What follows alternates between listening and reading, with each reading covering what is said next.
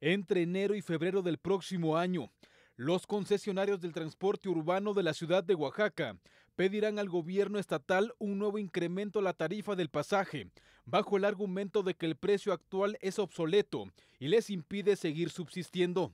Esta demanda será realizada a poco más de un año de que la actual administración, encabezada por Gabino Cue Monteagudo, autorizara en octubre de 2015 un alza de 50 centavos que colocó el costo por viaje en 7 pesos.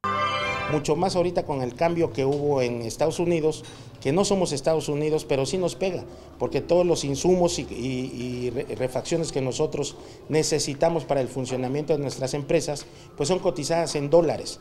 Y eso viene a tener un, alto eh, costo para nosotros, ¿no? Al momento de comprar llantas y refacciones, ¿no?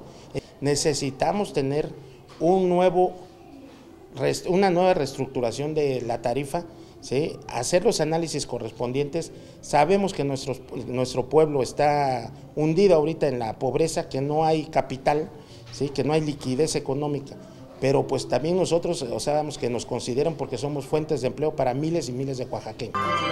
El empresario Antonio Gustavo Acevedo Salinas, concesionario de la línea Choferes del Sur, indicó que en actualidad los socios llevan a cabo un estudio que determinará la tarifa que desde su óptica deberán cubrir los usuarios de este servicio. El gobierno a nosotros como empresarios de transporte no nos subsidia en lo absoluto nada.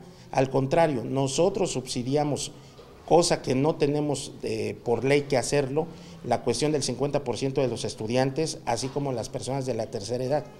Esa es una obligación del gobierno, no es una obligación de nosotros como iniciativa privada. Estamos ahorita haciendo los estudios, no me quiero aventurar a decir una cifra, ¿sí? hasta no tener este, los números correctos, pues, ¿no?